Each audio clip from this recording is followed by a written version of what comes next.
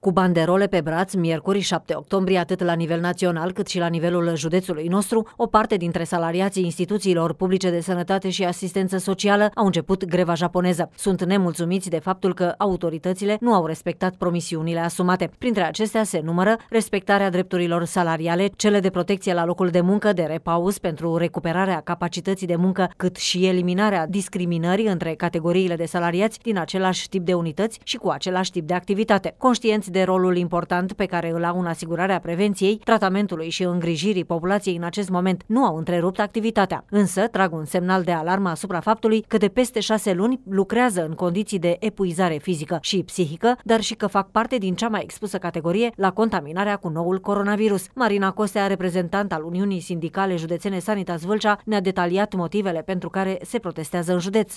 Nu s-au dat toate drepturile promise prin uh, legile actuale de guvernanți.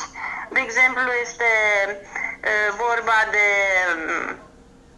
sporul acela de până la 30% sporul de COVID care trebuia aprobat în toate unitățile sanitare din județ, vorbesc acum și din direcția de protecție. Voucherele nu s-au acordat nici anul trecut, în 2019, în Spitalul Județean de Urgență, vă dați seama, în Spitalul Județean de Urgență și nici în acest an nu s-au acordat în Spitalul Brezoi, nu s-au acordat în, deci, în Spitalul nostru, Brezoiu și Horezu.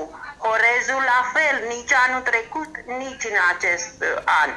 Uh, de asemenea, nu s-a acordat acei 2500 de lei promiși de președinte, uh, în sfârșit, um, uh, decât în spitalul județean, pe două luni, martie, mă rog, aprilie și mai, la secția infecțioase, ATI, urgențe și laborator. De asemenea, Dan Ponoran, directorul Spitalului Județean Vâlcea, susține solicitările făcute de angajați.